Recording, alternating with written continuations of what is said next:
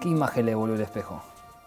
El espejo a uno le devuelve los años, le devuelve la historia, todo lo que uno ha visto, todo lo que ha vivido. ¿Quién es Marta en su vida? Es mi vida misma, es, es la vida entera.